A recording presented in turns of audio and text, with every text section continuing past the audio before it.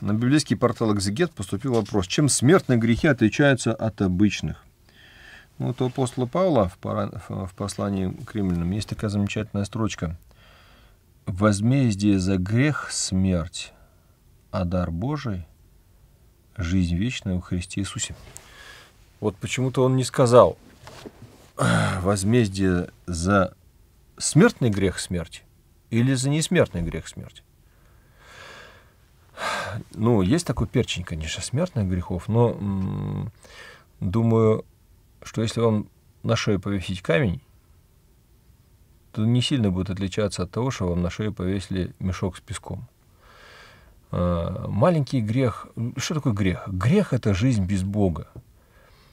И в какую сторону ты не поверни, если ты это, эту часть жизни прожил без Бога, если ты сознательно отвернулся от Него, или сознательно пренебрег тем, что Он все равно это видит и слышит, или сознательно делаешь то, что понимаешь, что противно Его воле и бытию, все равно какой грех ты совершил.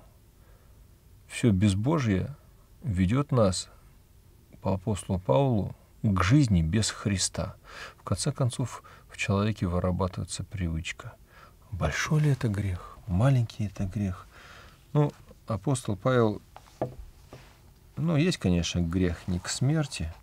Есть вещи, которые человек делает, может быть, даже не по своей воле, а от своей какой-то греховной привычки. Но в любом случае, любой грех — это смерть. Апостол Павел говорит, что возмездие за грех — смерть. Поэтому сами выбирайте. Большие, маленькие, смертные или несмертные. Жизнь с Христом или жизнь без Христа.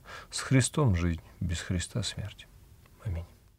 Внеси свой вклад, оцени, подпишись и поделись этим видео.